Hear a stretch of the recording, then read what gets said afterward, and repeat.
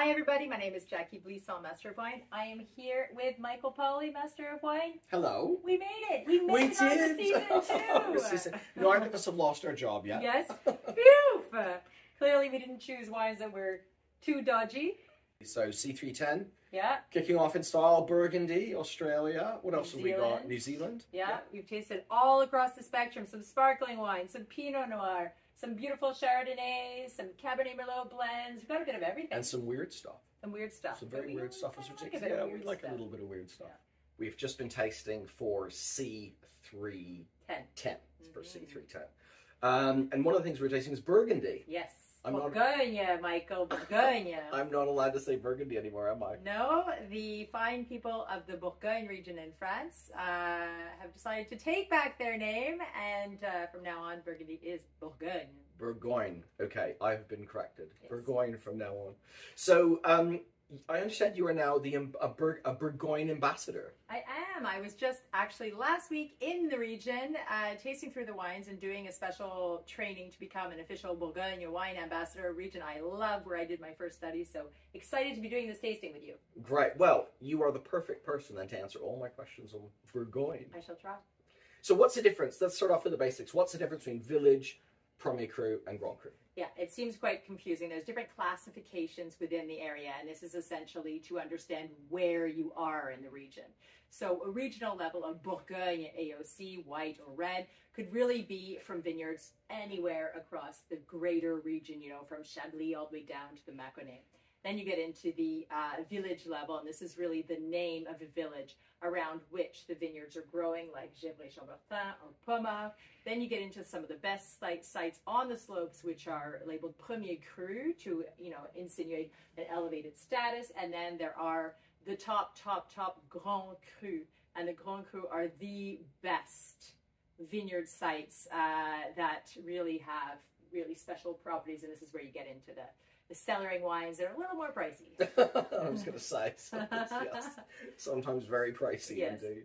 Um, great. Well, thank you for that. Um, next question Cote de Beaune versus Cote de Nuit.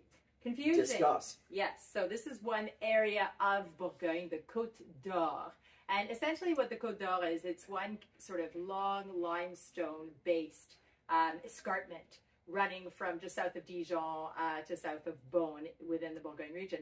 Uh, and it's split into two Côte de Nuit, which is more famous for its red wines, its Pinot Noir based red wines, and Côte de Beaune, which makes red and white wine. And the difference between the two is essentially that uh, it's all based on the soils, the geology the Côte de Nuit is one sort of contiguous limestone escarpment, whereas that vein of limestone actually goes underground around the town of Comblanchien, where uh, Côte de Nuit ends, Côte de Beaune starts, and then resurfaces around uh, the Chassagne and Montrachet area. So the soils are a lot more heterogeneous, a lot more mixed in the Côte de Beaune area. So there's areas that make great white, areas that make great red, and that's sort of the major difference as to why you find different wine styles. So the secret's in the soil. Exactly. Yeah, Like much good. of Burgundy. Good. You mentioned you mentioned Pinot Noir and Chardonnay. Mhm. Those are the key grape Those are the varieties, key grape varieties. which we see all over the world. Absolutely. And Bourgogne is really the benchmark that Yeah. a lot of growers who are making them in New Zealand, elsewhere, are really focusing on sort of making a Bourgogne reference. Although they're coming into their own now. I shouldn't say that, but that is a benchmark for quality for sure.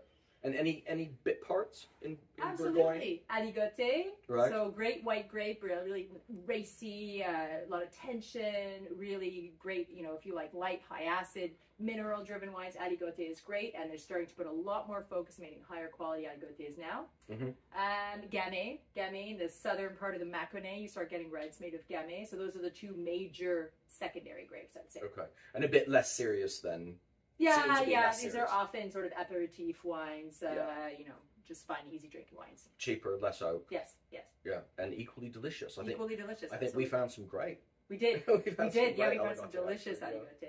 And um, Pinot Noir obviously incredibly difficult to, if you like, sort of get right or to do it in that Bourgogne mold elsewhere Yes. in the world. Yes. Where would you go? Oh, it's a heartbreak grape because it's so hard to grow well.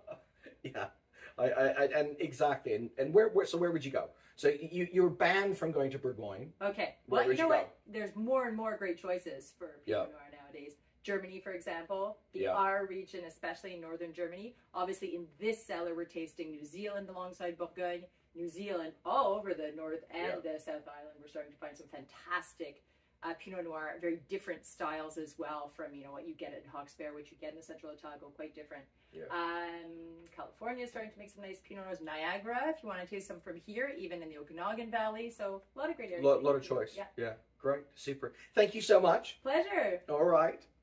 Nice to see you and Nice see you enjoy the Cellar C 310.